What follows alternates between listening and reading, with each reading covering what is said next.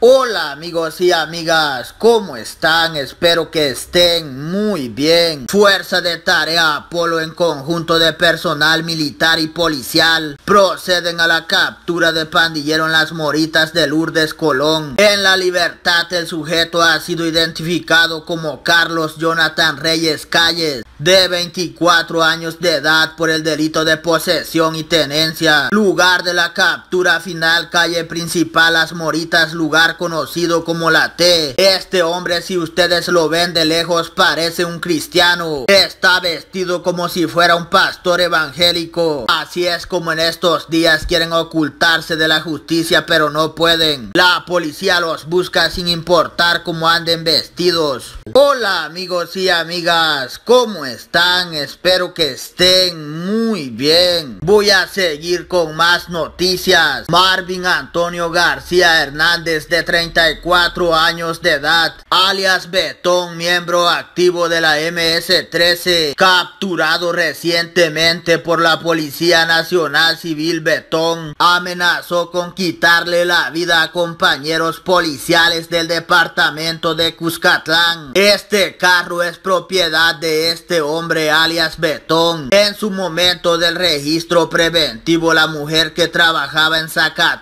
manejando dicho carro. Este hombre parece ser religioso por sus tatuajes. No sé si este hombre hablaba en serio con lo que les dijo a los policías. Por sus tatuajes parece ser palabrero de alguna estructura. Creo que la policía le quitó hasta el carro a este hombre. Solo fíjense cómo está de activa la policía aquí en El Salvador rápido lo arrestaron.